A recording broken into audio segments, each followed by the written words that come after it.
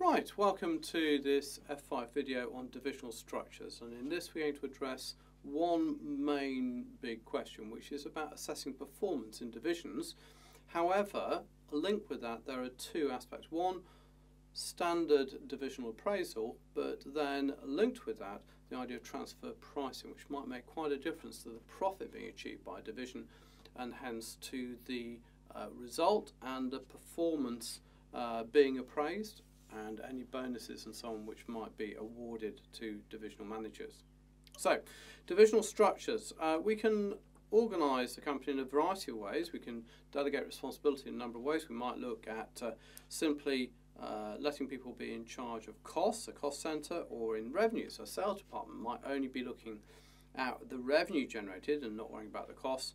It could be a profit centre where we have both revenue and costs involved, or for a division, most likely an investment centre, because divisions quite often have some control over whether or not to invest in certain projects, make investments uh, which will then produce profits over the next few years.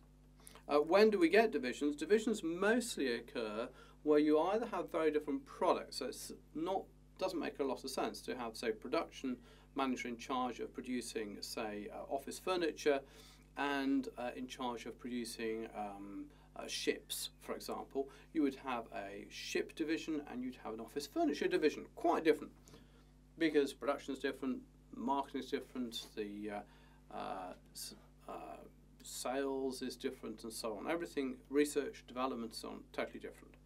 Or it might be geography. So it might be you have an African division and an Asian division, an American division, a UK division, a North division, a South division, and so on. Because again, otherwise, production manager and so on is constantly uh, zipping between the various locations. So it's either uh, to do with location or product, because they're very different. So, having established that, how do we then assess their performance? And very commonly it's connected to bonuses and remuneration of those who are managing the divisions. So the two most common measures used for divisions uh, both use the same thing, and they actually have very similar names, which are very confusing. Return on investment, or commonly called ROI, and residual income, commonly called RI. So, really quite confusing.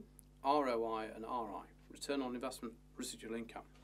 Uh, return on investment simply looks at the percentage return we have made this year in terms of profit over the investment which has been put in whereas residual income looks at the profit and takes off a notional interest charge on the investment. So let's just see what uh, differences there are. ROI gives a percentage where residual income uh, gives uh, an absolute amount of money. Residual income does build in the target return inside the notional interest, whether it be 10%, 15% or whatever, whereas ROI has to be then compared against some target percentage.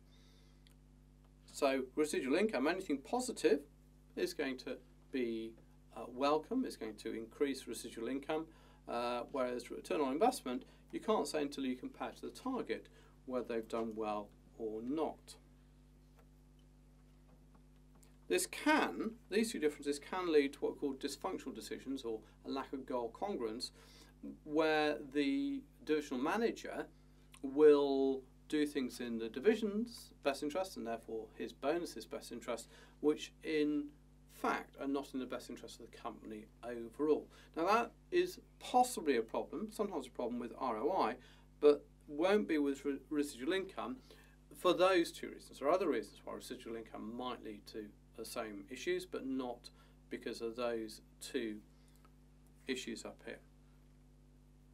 Uh, and lastly, a bit of a theoretical point, probably not going to come up, but just so you know, if the residual income has the notional interest rate the same as the company's cost of capital, then the present value of residual incomes will be the same as the net present value of the project. So, let's have a look at an example just to actually uh, uh, get in there and see if it makes sense. The division has a single project which is going to generate annual cash flows of 20,000 for five years. Net assets in the division are a single machine which is a new product. It estimates the cost of development as 25,000 and the production costs as $20 per unit. After analysing markets, felt a price